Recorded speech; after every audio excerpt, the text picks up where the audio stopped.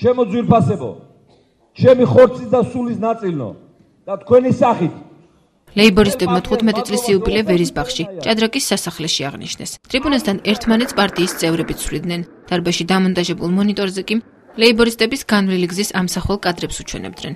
თავარი მოწოდება კვლავ ხელისუფლების დაუყოვნებლივ შეცვლა იყო. ამ პათოს დარბაზში მსხდომლიც იზიარებდნენ. თავრობა რაც არ უნდა დამონდეს და იმონა მთავრობას მოიცილებთ.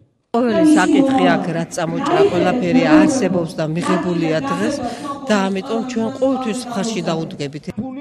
პარტიის მეოთხე საიუბილეო ყრილობის მთავარი მოვლენა ის რეზოლუცია იყო, რომელიც ლეიბორისტების განცხადებით არ მხოლოდ მათი, მთელი საქართველოს სამოქმედო გეგმაა. უფასო ჯანდაცვა, უფასო განათლება, საგარეო ორიენტირები არის განსაზღვრული, რომ საქართველოს უნდა იყოს დამოუკიდებელი ყველა იმპერიისაგან. ლიდერებმა მაისის ადგილობრივი თვითმმართველობის არჩევნებს ბოიკოტი კიდევ ერთხელ გამოუცხადეს.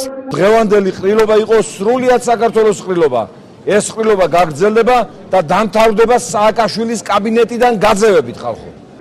ყრილობის დასასრულს პარტიის თავმჯდომარეთ ლეიბორისტებმა შალვა ნათელაშვილი უკვე მეოთხედ ხმების სრული უმრავლესობით აერჩიეს.